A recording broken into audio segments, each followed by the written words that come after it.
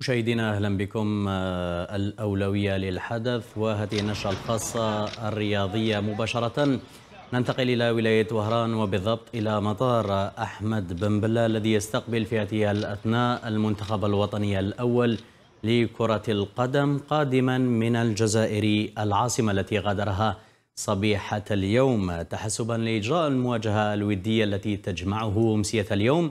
بالمنتخب المالي. بداية من الساعة الثامنة والنصف بملعب ميلود هدفي بوهران. إذا كما نشاهد هذه الصور مباشرة تأتيكم من ولاية وهران للاعبي المنتخب الوطني وهم يغادرون مطار أحمد بن بلة إلى مركز إيوائهم. قبل المواجهة الودية أقول التي تجمع أشبال الناخب الوطني جمال بالماضي بالمنتخب المالي أمسية اليوم بداية من الساعة الثامنة والنصف مساء.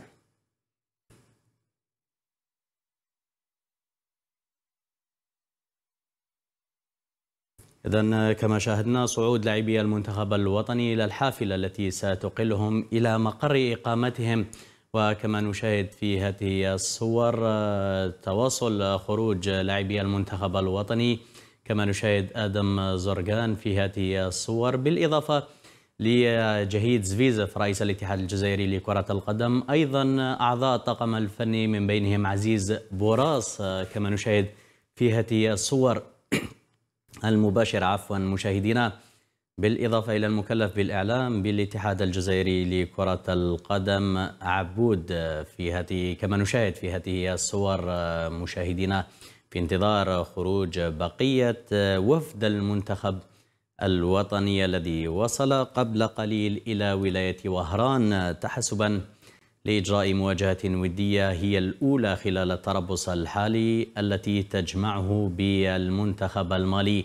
بداية من الساعة الثامنة والنصف مساء بملعب ميلود هدفي بوهران. مدرجات من المنتظر أن أنها لن تكون على أن لن تكون بأبواب مغلقة هذه المباراة كون التذاكر لم تباع منها إلى حد الآن. العديد من التذاكر لم تباع وكذلك المنصة الرقمية الخاصة ببيع تذاكر هذه المواجهة.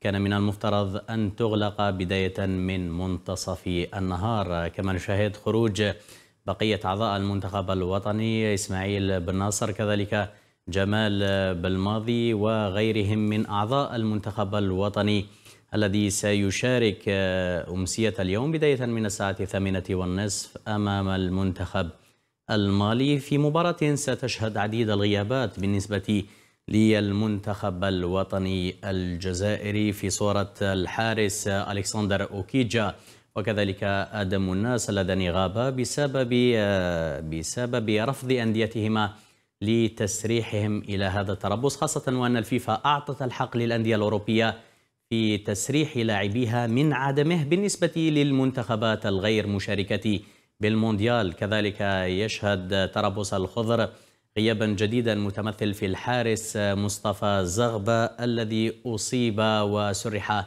من التربص وعوضه الحارس حارس مولودية الجزائر فريد شعال. إذا مشاهدينا كما نشاهد في هذه الصور حافلة المنتخب الوطني تستعد للمغادرة إلى مقر الإقامة بعد وصول عناصر المنتخب الوطني إلى ولاية وهران تحسبا للمواجهة الودية الأولى أمام منتخب مالي قبل مواجهة ودية ثانية ستجمع المنتخب الجزائري بنظيره السويدي يوم التاسع عشر من نوفمبر بمدينة مالمو السويدية. في هذه الأثناء مغادرة حافلة المنتخب الوطني مطار وهران الدولي.